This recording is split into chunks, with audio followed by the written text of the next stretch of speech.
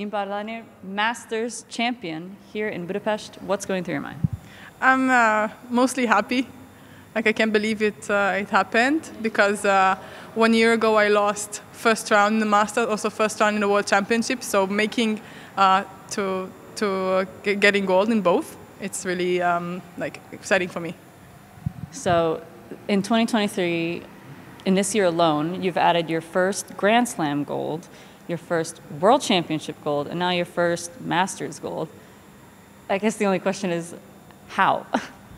I think uh, things are uh, starting to um, add up, like all the hard works. Um, all the hard work works. and uh, I don't know, something clicks, and I found a way to uh, put my judo and my attitude into the fights, and I'm really happy it's uh, working out for me. So, amongst all the successes, uh, looking at this medal specifically, what makes a master's title different or special from the rest?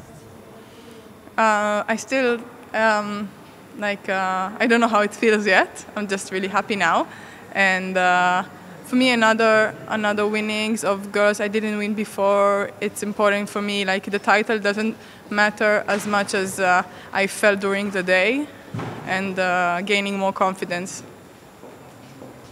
so the only thing missing from your collection now is Olympic gold and Grand Prix gold are we going to see also you European gold. Oh yeah, and European Yeah. gold. Um, are we going to see you at a Grand Prix uh, coming up soon? Uh, I don't know, depends on the coach, but uh, I know uh, only a week ahead and uh, we'll see. So, leading up to your final, uh, you were on the mat in total for less than a minute, which is absolutely insane. Um, talk us through your judo. Uh, is that something that you aim for when you go on the mat?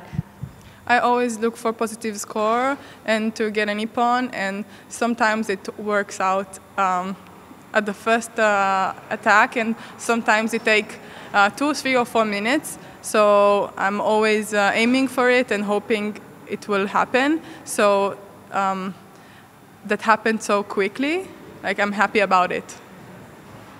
So, going into the final, it was clear Malonga came with her dominating grip. She was ready to take control of the fight, but you seemed okay with that. Actually, you seemed to use that to your advantage in the end.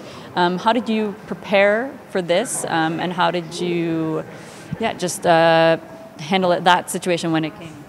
So she's really, really strong, and I know it because I felt her already in training camps, and I knew she was gonna come very aggressive, very eager to win. Uh, so we made a plan, and uh, I was ready to get some uh, big uh, right arm, and um just going with the plan. So Hungary has become like a second home for judo. You know, they've, they've hosted now everything from Grand Prix, Grand Slam, World Championships, Masters. Uh, what does it mean to you personally to uh, compete in Hungary? So um, I'm a quarter Hungarian, and I have family here. My grandmother um, was born here, and she moved uh, through the Holocaust. So it feels like a second home, and it's really nice uh, being here, and the atmosphere is great, and everyone's so nice. So I'm always happy to come to Budapest. What will you do uh, from now until the games to continue this momentum and to hopefully complete that part of your collection? So I'm really focusing on uh, every day by itself, and uh, I have so much to work on still, and I'm far from being uh, my 100%. So I'm really excited to see um, how better can I get, and uh, there's a lot of um, small goals until the Olympics, and I am um, going like to make it uh, when the peak is in the Olympics. All right, Inbar, thank you very much and congratulations. Thank you.